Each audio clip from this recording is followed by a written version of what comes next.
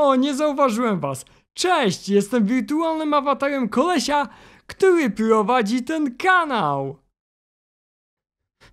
Po, posłuchajcie mnie teraz bardzo uważnie. Polubcie jego filmy i subskrybujcie jego kanał, bo inaczej ten wariat mnie wyłączy. Ha.